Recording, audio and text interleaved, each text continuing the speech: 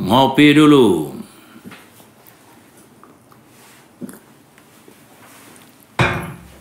Semangat pagi Indonesia, para sahabat sang kakek di mana pun berada. Acara refleksi sang kakek pada pagi hari ini kita mendah membahas tentang sang dalang unjuk rasa. Ada kecenderungan akhir-akhir ini terjadi saling menuding, saling menyalahkan siapa sesungguhnya dalam aksi unjuk rasa menolak Undang-Undang Cipta Kerja yang dilakukan bulan Oktober dalam dua momen yang melibatkan mahasiswa dan buruh dan juga elemen-elemen bangsa yang lain dan bahkan melibatkan para pelajar yang tidak tahu apa yang ditolak dengan demo tersebut. Yang menarik adalah salah seorang mantan presiden kita mengeluh bahwa dia dituduh yang membiayai demo unjuk rasa ini yang berujung rusuh. Bahkan dengan menghibah dia bilang, untuk apa saya harus melakukan dukungan pembiayaan tentang unjuk rasa ini. Dan paksi Partai Demokrat yang walk out pada putusan terakhir tentang Undang-Undang Cipta Kerja juga menuding pemerintah melakukan hoax. Pemerintah menyampaikan, menjawab melalui Menko Polhukam Kapan pemerintah menyebut mantan presiden itu sebagai dalang kerusuhan dan membiayai? Ayo, silakan buka-bukaan.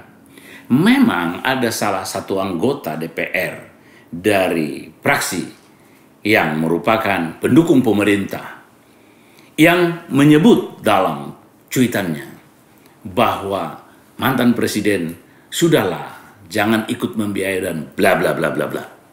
Nah ini mungkin dianggap seakan-akan bahwa pemerintah menuduh mantan presiden dan partai Demokrat. Menko Polhukam jelas kami tidak ada dalam rapat dan tidak ada pikiran untuk menuduh atau menganggap mantan presiden sebagai dalang dari kerusuhan ini, membiayai demo ini. Pertanyaan kritis kita, kalau jelas-jelas ada yang membuat cuitannya anggota DPR tersebut yang menuduh mantan presiden. Kenapa tidak itu yang diadukan? Kenapa harus pemerintah yang dituduh? Sebab jawaban pemerintah tidak pernah dalam rapat-rapat dan apa pun menyebutkan nama mantan presiden. Kalau cuitan itu yang menyebutkan nama mantan presiden, maka sesungguhnya tidak perlu kita berilusi, tidak perlu kita mengeluh, tidak perlu kita menghibah. Langsung saja toh bisa diadukan. Jelas namanya, jelas cuitannya, dan bisa dibuktikan enggak bahwa itu betul atau tidak. Masalah kita selalu adalah muncul satu masalah, bukan masalah ini yang diselesaikan, tetapi dibuat lagi rentetan-rentetan lain sehingga kasusnya seakan-akan bertambah dan tak ada habis-habisnya. Saling tuding menuding menjadi sesuatu yang baru lagi bukan hanya soal tuduhan awal, tetapi saling menuduh lagi yang lain, sehingga terjadilah jawab menjawab dan bahkan seakan-akan saling menyudutkan dan mendiskreditkan. Pertanyaannya juga secara kritis, kenapa ya mantan-mantan presiden, mantan penguasa yang sudah berkuasa sekian lama selalu seakan-akan mencari ingin mencari celah kelemahan dari pemerintah. Banyak lagi yang menyampaikan pemerintah seharusnya begini begitu. Padahal sudah 10 tahun berkuasa. Kenapa tidak ketika dia berkuasa membuat yang terbaik untuk bangsa dan negara ini? Jangan sesudah selesai lalu sebagai sang mantan saya punya pengalaman di pemerintahan maka saudara-saudara pemerintah ini seharusnya harus melakukan ini dan melakukan begini. Itu sudah basi, nggak ada gunanya. Apakah itu juga motif? Oh kita harus rebut kekuasaan kembali supaya kita membuat bangsa ini lebih baik. Tunggu dulu. Setiap orang ada masanya. Setiap masa ada orangnya. Jadi kalau sudah diberikan kesempatan sebuah masa kepada kita, manfaatkan sebaik mungkin. Karena mungkin sesudah itu bukan lagi masanya kita. Atau orang juga. Ya kalau diberi kesempatan, ayo berikan yang baik. saling menuduh, saling menuding tentang dalam aksi unjuk rasa yang berakibat berdampak terhadap kerusuhan tidak lagi zamannya. Seolah-olah membangun pencitraan masing-masing baik pemerintah maupun yang dituduh. Persoalannya kalau memang tidak ada upaya untuk mendukung dan mendalangi nggak usah sensi. Jawab saja. Ada yang menuding tuntut laporkan supaya penegak hukum yang menentukan siapa yang benar dan fakta hukum menjadi sesuatu yang membuktikan siapa salah, siapa benar, siapa menuduh apa, dan apa akibatnya. Sebagai negara hukum, maka kita harus percayakan soal sang dalang dari unjuk rasa ini dalam proses penegakan hukum. Karena kita mendengar kabar terbaru bahwa akan ada yang mau ditangkap dan ditahan juga orang dekat dari mantan presiden ini.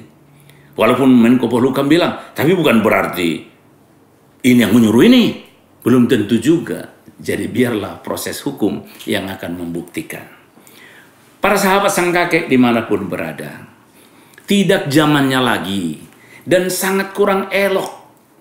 Kalau para pemimpin bangsa, para elit bangsa, para mantan pemimpin, mantan presiden, dengan presiden yang sekarang atau dengan pemerintah, mantan pemerintah, saling menuding, saling menuduh. Itu tidak zamannya lagi. Zamannya kita adalah apa yang bisa kita perbuat untuk bangsa dan negara ini? Mari kita saling mendukung, apalagi ini masih pandemi. Kok aneh ya bangsa kita ini? Seakan-akan pandemi ini tidak bisa membuat kita sadar bahwa ini adalah musuh bersama yang harus kita lawan, yang harus kita hadapi supaya bangsa kita ini bebas dari pandemi corona COVID-19 ini. Seakan-akan kita kehabisan bahan kehabisan akal, selalu mau berdebat dan saling menuduh dan saling menuding. Para pemimpin bangsa, para elit bangsa, para sahabat sang kakek, mari kita hentikan pro kontra, saling menuduh dan saling menuding. Mari kita bersama-sama, bahu-membahu, bangun membangun untuk melawan pandemi. Patuhi aturan-aturan 3M, ya, cuci tangan, memakai masker, dan juga menjaga jarak itu jauh lebih penting daripada debat, diskusi yang berkepanjangan saling menuduh tentang sang dalang unjuk rasa. Demikian para sahabat sang kakek, mari kita jangan terjebak dengan saling tuding menuding, saling tuduh menuduh, tetapi mari kita berpikir positif bahwa bangsa ini membutuhkan karya nyata, kerja nyata, tidak hanya sekedar bergosip, saling menuduh, saling menuding, sehingga bangsa ini menjadi kontraproduktif karena diskusinya, gosipnya selalu dengan hal-hal yang negatif dan yang tidak berguna. Mohon maaf, para sahabat sang kakek, mari bangun bersama, mari berpikir positif. Demikian kita uh, refleksi kita pada pagi hari ini. Sampai ketemu pada refleksi sang kakek dengan topik-topik yang hangat di waktu yang berikut. Salam ngopi dulu.